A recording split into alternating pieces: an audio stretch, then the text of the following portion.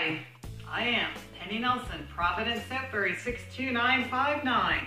And today we thought you might like, like to come along with us because we are going to take the soap from the soap class that Tabitha had. And this is about a two pound loaf. Okay, so come closer, my dear Tabitha. I have my, my videoer. So what we did, Tabitha picked out the ingredients. So we made this a rose lavender. And she included some oatmeal and some rose petals. Now normally, when you make soap, you have to put it into something for it to harden. So we put it in this mold that we have, you can put it in anything. Okay, so come closer so they can see all the details. So, just pull it out.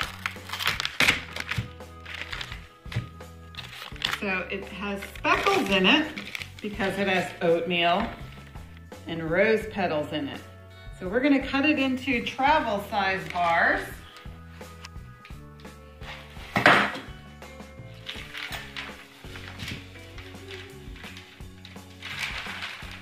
You have to remind me, Tabitha, what did we decide to name it?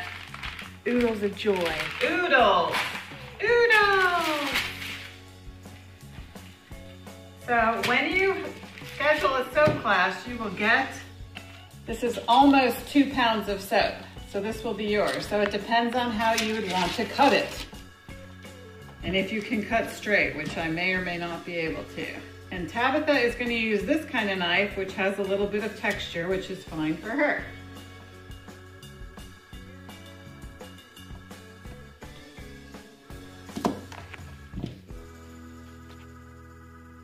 Is that the right size, Mhm, Tabitha? that's perfect. And these are a perfect size for gift giving, traveling. Everybody always needs soap. Oh, the smell is really rosy. It's wonderful. Smells so good. Now, hot processed soap, you can use it right now. It's ready to be used. If you did cold processed soap, you would have to let it continue to cure. It's still chemical hot. And I don't know all the details on it because I do hot process, not cold process. So you would have to do your own research. So we thought you might like to come along if you are interested in having a soap class in your space nearby. The cost of the class is $50 and the hostess gets to decide what fragrance it is. And it takes about four hours to do it. So during that four hours, you could do what other activities that you like to have in your space.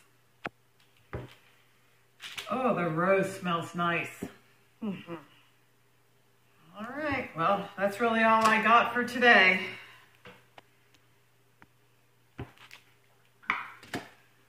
So this is how you can cut soap.